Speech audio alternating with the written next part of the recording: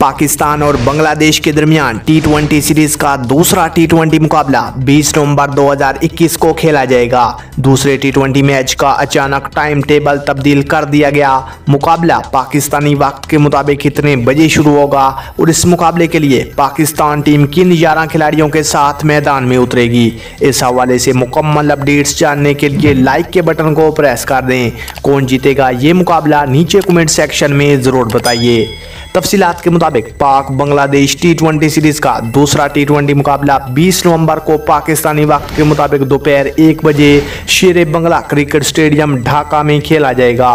पहले ये मुकाबला पाकिस्तानी वक्त के मुताबिक दोपहर तीन बजे शुरू होना था, लेकिन अब इसका टाइम टेबल तब्दील कर दिया गया है। अगर इस मुकाबले के लिए पाकिस्तान टीम की प्लेइंग एलेवन की बात करें तो नंबर वन पर Mohammad Rizwan number two Babar Azam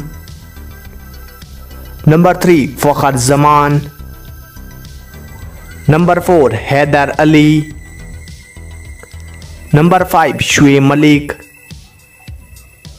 number six Khushdil Shah number seven Mohammad Nawaz number eight Shadab Khan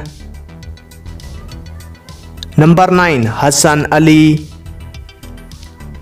number ten Haris Rauf और नंबर इलेवन पर Mohammad Wasim junior playing eleven का हिस्सा होंगे।